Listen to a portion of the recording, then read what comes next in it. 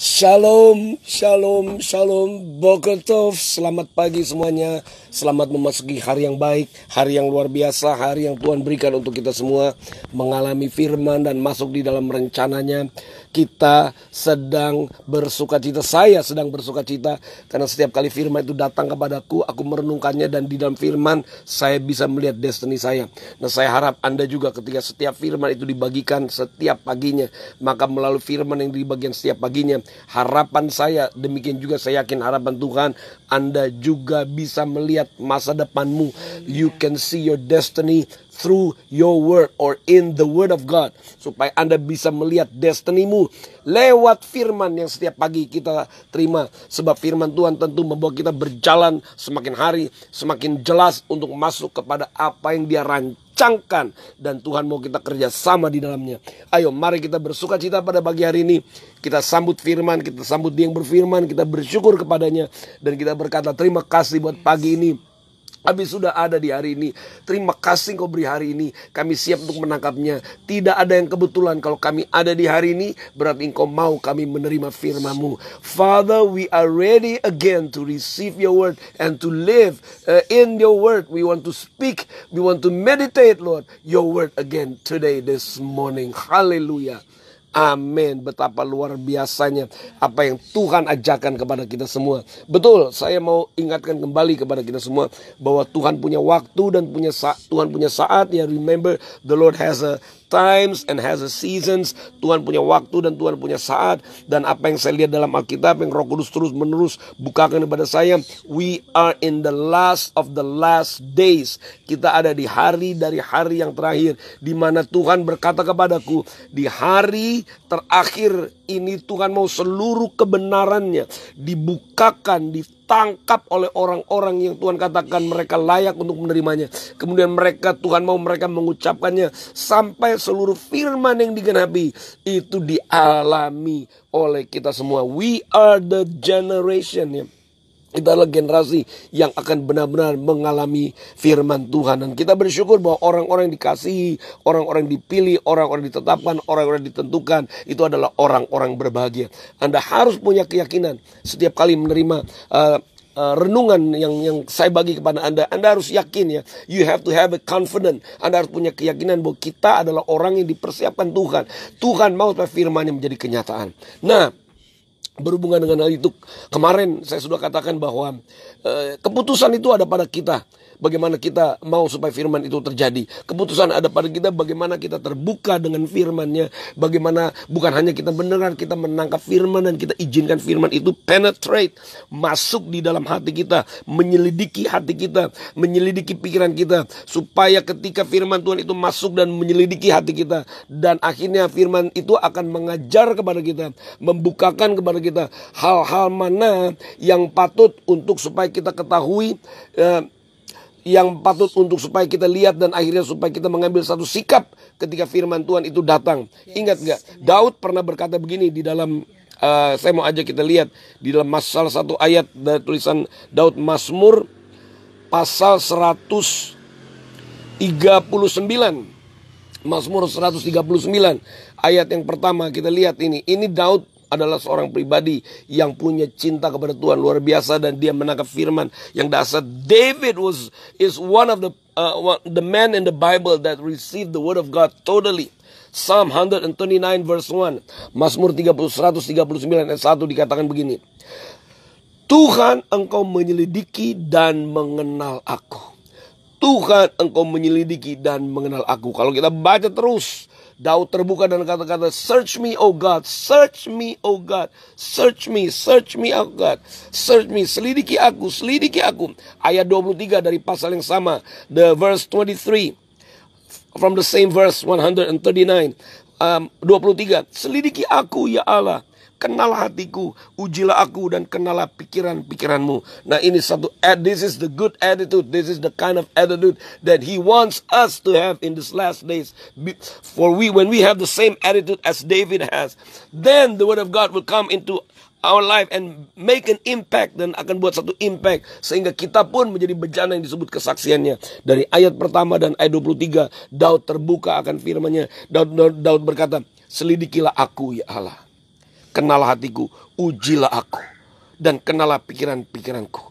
Lihatlah ayat 24 kemudian, apakah jalanku serong dan tuntunlah aku di jalan yang kekal. Oh my God, the Lord is waiting waiting to see yeah, the kind of generation like David Tuhan menanti generasi seperti Daud yang betul-betul terbuka hatinya untuk firman Tuhan yang betul-betul mau menangkap dan akhirnya uh, generasi itu menjadi generasi yang yang mempunyai bejana yang clean supaya ketika mereka bersih hatinya, ketika mereka bersih pikirannya, maka Tuhan akan menaruh perkataannya. Oh my God, Tuhan akan menaruh perkataannya di dalam mulut mereka. Kemudian waktu mereka mengucapkannya, maka akan terjadi hal-hal yang luar biasa. So, saya mau katakan kepada Anda, kalau Anda mau melihat hari-hari yang baik, saya pernah baca, eh bagikan ayat itu kepada Anda. Kalau kamu mau melihat hari-hari yang baik, kita harus jaga hati kita. Kita harus lihat dulu terlebih dahulu eh, diri kita seperti apa. Satu-satunya yang membuat kita mampu melihat keberadaan kita adalah firman-Nya. Ketika firman-Nya datang, maka firman-Nya itu akan menerangi melihat hidup kita dan bagian-bagian mana di dalam hidup kita, which is the part in our in our life that needs to be restored. Bagian-bagian mana di dalam hidup kita yang perlu dipulihkan, yang perlu di needs to be aligned bagian-bagian mana in part of our hearts, in our mind, in our speech bagian-bagian di dalam diri kita yang patut untuk diselaraskan. Sehingga apa? Bahasa kita nantinya berbeda dengan bahasa yang lain.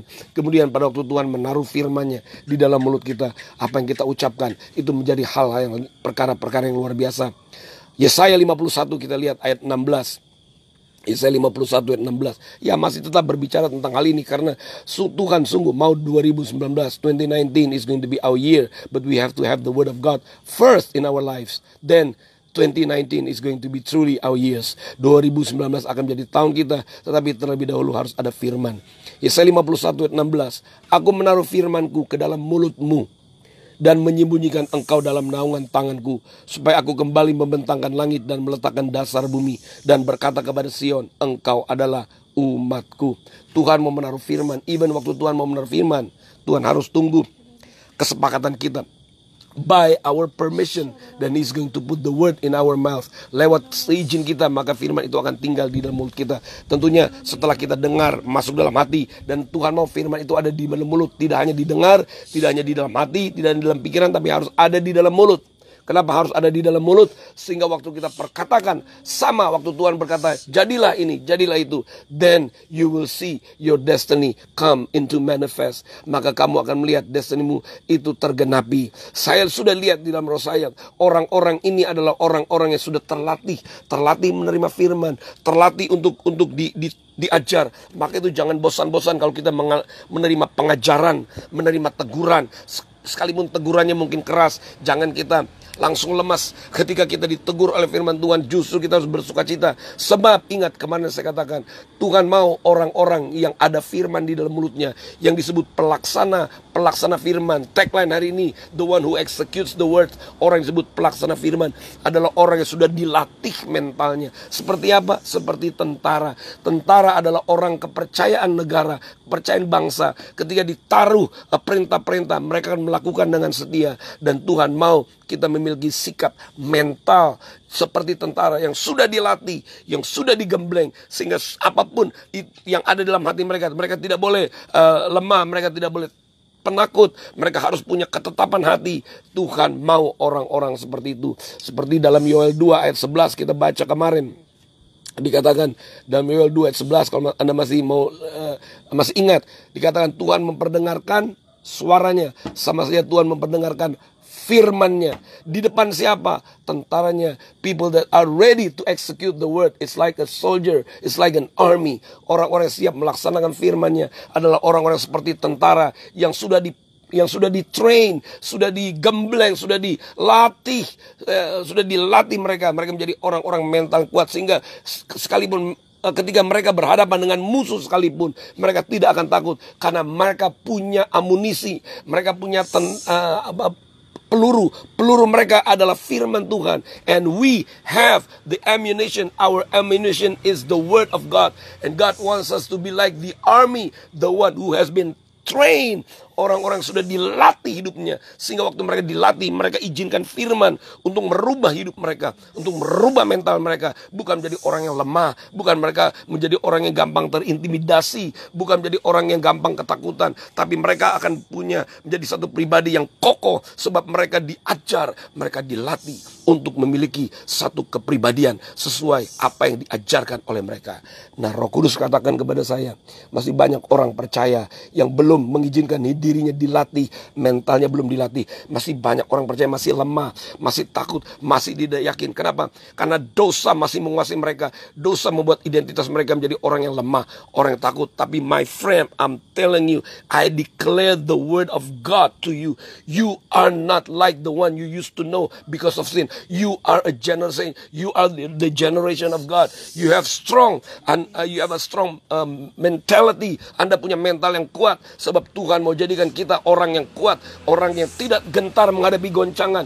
Because you have received the word of the Lord and only the word of God can make you a strong person. Hanya orang yang menerima firman Tuhan dapat membuat orang itu menjadi kuat. Dan I'm speaking to you the word of God. So you need to rise up, rise up as the army of God. Orang-orang yang di hari-hari terakhir harus bangkit, memiliki karakter yang kuat sehingga tidak mungkin tergoyahkan, tidak mungkin mengalami intimidasi. You have the emanations. Engkau punya peluru dan pelurumu adalah firman Tuhan. When you stand up before your enemy, start to speak the word of God. Start to use the emanations. Use the word of God to speak to your condition, to speak to your surroundings. Mulai pakai amunisimu untuk melepaskan firman sebab firman telah menjadikan kamu orang-orang yang dahsyat yang perkasa seperti army seperti tentara. Then you will see the victory is yours. Maka kamu akan melihat kemenangan itu menjadi bagianmu sebab firman Tuhan tidak pernah gagal. Firman Tuhan itu dahsyat. Engkau akan melihat pertolongan Tuhan. Pertolongan Tuhan itu datangnya gimana? Lewat firmannya lewat firmannya. Roh Kudus katakan kepada saya bahwa nanti orang-orang disebut uh, generasinya tidak menjadi manja dan sedikit-sedikit Tuhan tolong, Tuhan tolong. Karena Roh Kudus kasih tahu kepada saya, Tuhan mengendaki orang-orang di akhir zaman punya amunisi yaitu firman. Kalau kita sedikit-sedikit Tuhan tolong, Tuhan tolong. Sepertinya tidak ada amunisi di dalam hidup kita. Tapi Tuhan mau kita berdiri Waktu kita berdiri, kita tahu apa yang harus kita kerjakan. Sebab firman itu ada di dalamku. Firman yang ada di dalamku, dia akan melatih, dia akan menjadikan pribadi kita pribadi yang kuat. Sebab lebih besar yang ada di dalam kita daripada apa yang ada di luar kita. Greater is he that is in us that, that, than he that is in the world. Lebih besar dia yang ada di dalam kita, yang adalah firman itu sendiri daripada dia yang ada di dalam dunia, yaitu perkataan intimidasi dan lain sebagainya. I'm reminding you the word of the Lord is greater than any situations. Firman Tuhan jauh lebih dahsyat dari semua situasi yang ada di luar. Karena itu allow yourself to be trained by the word of God.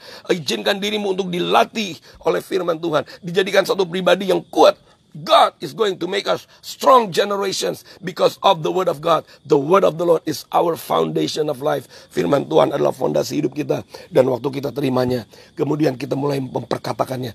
Itulah amunisi kita. Satu-satu yang Tuhan memberi. Dia mau taruh di dalam mulut kita perkataannya dan Tuhan berkata, "Speak it."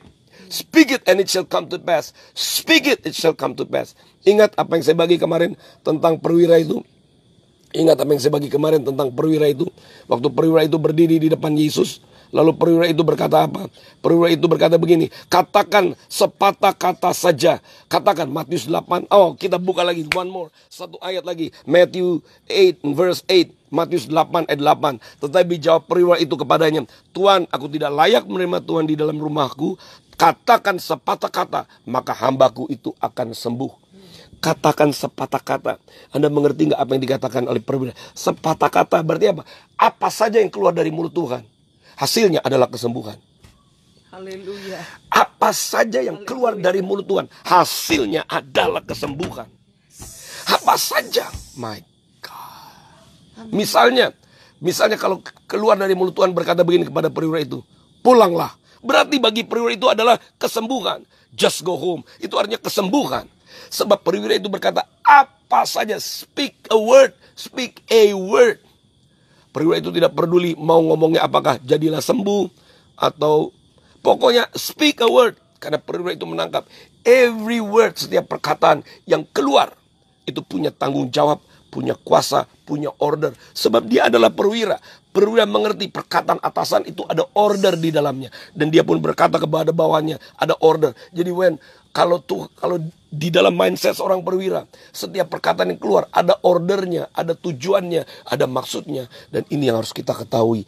Setiap perkataan Tuhan, every word of the Lord that comes out of the mouth of the Lord has orders. Who has orders? And the orders of the Lord always to restore, to heal, hallelujah, to bless. Seperti yang saya katakan kemarin, setiap perkataan Tuhan itu isinya berkat, isinya itu kehidupan. Jadi kalau kita terima itu, waktu kita masuk dalam hidup kita, izinkan hidup kita dipulihkan supaya waktu firman itu ada di dalam mulutmu. Whatever you will say, apa pun yang akan kamu ucapkan, itu adalah amunisi yang ditakuti oleh musuh.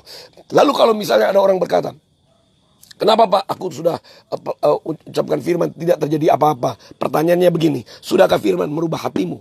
Terlebih dahulu? Sudahkah firman merubah caramu berpikir? Sudahkah kamu bisa lihat ada perubahan dalam firmanmu? Kalau kamu sudah lihat itu, maka saya mau katakan firman Tuhan itu pasti berhasil. Kalau tidak berhasil, karena masih ada percampuran. Kemarin kita sudah bahas tentang clean vessel. Kita harus betul-betul menjadi bejana yang clean supaya apa yang kita ucapkan maka firman itu akan betul-betul berhasil. Amin. Tapi kalau ada percampuran, attitude kita, sikap kita masih dikuasai oleh gaya hidup kita yang dulu yang dikuasai oleh dosa. Apa itu? Saya ulangi lagi, kita cepat terintimidasi, kita cepat tersinggung, oh, ada dusta dalam hati kita, maka firman Tuhan tidak bisa karena Firman yang begitu dahsyatnya itu, firman yang begitu berkuasnya itu, menunggu izin kita. Can you imagine bagaimana Tuhan menghargai manusia? Firman yang begitu dahsyatnya itu harus menunggu keputusan manusia. Kenapa? Karena Tuhan sangat menghargai ciptaan yang satu ini, yang namanya manusia ini. Tuhan sangat menanti. Tuhan menanti kesepakatan manusia. When we agree, ketika kita sepakat dengan firmannya. Dan kita menyambut firmannya dengan penuh. Dan mengizinkan firmannya menyembuhkan kita, memulihkan kita. Maka firmannya will come into effect. Will have a great impact atas kehidupan kita. Dan Tuhan mau kita menjadi mitra di dalam agenda pemulihannya. Karena itu Tangkap baik-baik firman Tuhan ini. Kesembuhan sudah ada di dalam di pihakmu. Healing is on your side. Kesembuhan ada di pihakmu. Keberhasilan ada di pihakmu. Masa depan yang baik itu tergantung kepadamu. What you say you will get. Apa yang kamu katakan itu akan terjadi dalam hidupmu. Tapi Anda harus tahu apa yang akan kamu terima. Pertama-tama harus terjadi dulu di dalam hidupmu. Then you will see the impact. Haleluya. Aduh, saya rasa betul-betul hari-hari ini yang Tuhan menyatakan di, di dalam hidup kita. Khususnya khususnya di Indonesia ini. Oh, akan di bangsa ini akan muncul kesaksian-kesaksian baru. Tuhan katakan there shall be revivals like never before.